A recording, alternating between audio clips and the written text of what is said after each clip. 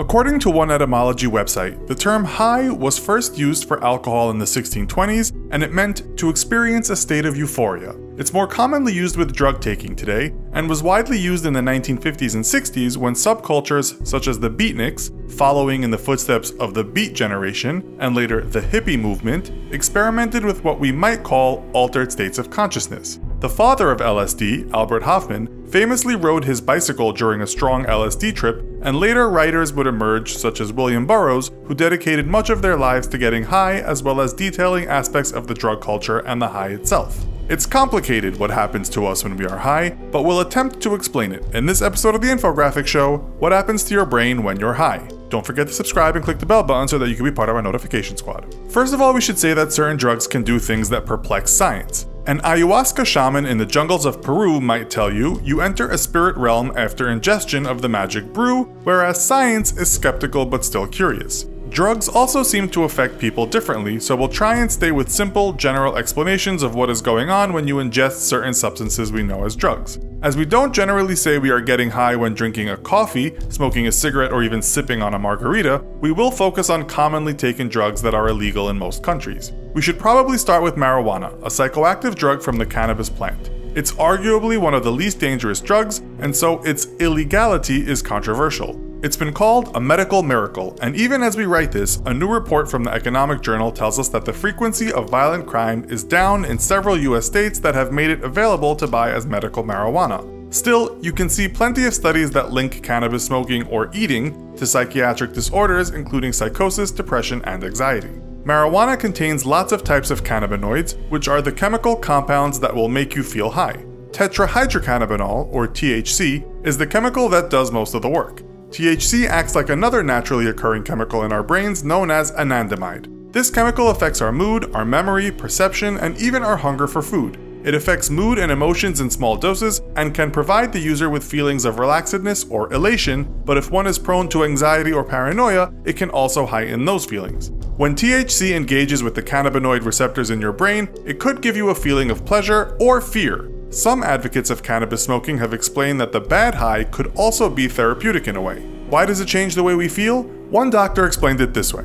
In the endocannabinoid system, one of its main roles in the brain is to regulate neurotransmitter function, and again, if there's too much of one kind of neurotransmitter, it will bring it down, if there's too little, it will bring it up. Some people believe this drug can create balance in the brain, a reason it's sometimes used to control pain. Studies are ongoing, but it seems the plant may be good for some people whose brains lack certain chemicals.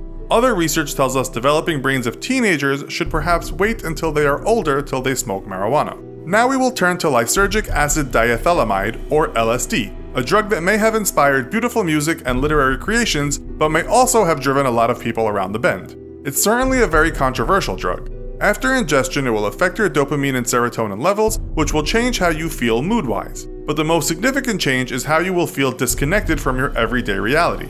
Researchers have called this ego dissolution. This can be quite scary, especially if the hallucinations that come with LSD are powerful. On the other hand, users sometimes experience great joy for weeks after the experience, likely because they have, for all intents and purposes, taken a break from themselves for a few hours. The problem is, people will not be able to tell if their trip will be a bad trip, which could have a negative impact on their life. Time magazine published an article on what actually happens when we take LSD, why we hallucinate, and why we perceive things differently. Time writes that the networks of the brain responsible for our perception are a lot more active when our brains are scanned after taking the drug. What's amazing is that the researchers found that LSD changes visual information in the brain, so you essentially see what you are thinking. That's why you hallucinate. Others report you can sometimes smell colors, or music can give certain visualizations. They agree it can be a window to another world, but then again, if you have a lot of suppressed negative thoughts you've been hiding, it's likely you'll have a difficult time. On the other hand, people with very debilitating depression or PTSD have found opening up these windows or doors of perception have helped them to feel happiness again. As it's illegal, it's not easy to do more research. And now for something completely different cocaine. This is perhaps much easier to explain than marijuana and LSD. This is also a psychoactive drug and will affect your mood, but it certainly won't lead to ego dissolution, far from it. If snorted, smoked, or injected as cocaine, not turned into crack cocaine, our dopamine levels will increase dramatically. This will give you a feeling of having more energy and for most people will make them more talkative.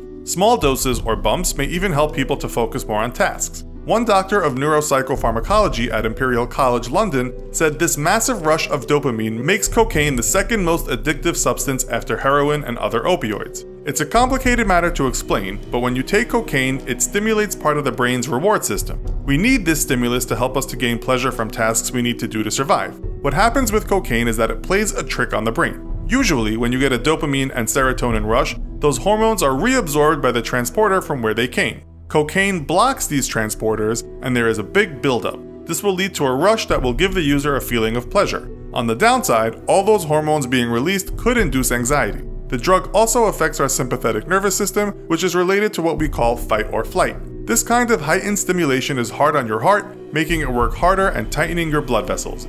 Even young people have been known to have heart attacks after taking cocaine. Let's now talk about perhaps the most addictive drug of them all heroin. The heroin high is very different from the cocaine high in that it usually relaxes the user rather than make them energized and sometimes manic. When someone takes heroin, the drug binds to what we call protein receptor sites for opioids. While our brains can thankfully already produce their own opioids such as endorphins, when someone takes heroin, their opiate receptors block out more pain than usual. For heroin users, this not only means physical pain but also mental pain as release of dopamine gives a feeling of well-being and sometimes euphoria.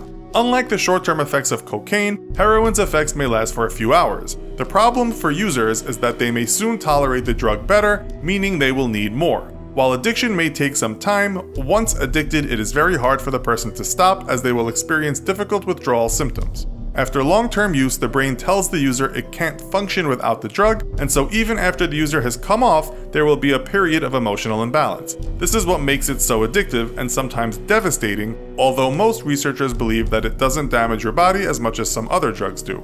Unless of course you overdose. In that case, your brain basically forgets to breathe. As one doctor told CNN, usually when you are sleeping, your body naturally remembers to breathe. In the case of a heroin overdose, you fall asleep and essentially your body forgets. With newer, more powerful opioids finding their way onto the streets, such as fentanyl, the USA has recently seen a spike in overdoses. While the drug propaganda of the 80s featuring the words, this is your brain on drugs, accompanied by an egg being fried, might have been misleading or not very educational, there is no doubt that overdosing on opioids is very much a worrying reality. There are many other drugs out there we missed, but these seem to be the most common or at least interesting. Another one we could have mentioned of course is amphetamine. What is your opinion on these drugs? Let us know in the comments. Also be sure to check out our other video called What If You Only Drank Coke and Nothing Else. Thanks for watching, and as always, don't forget to like, share, and subscribe. See you next time!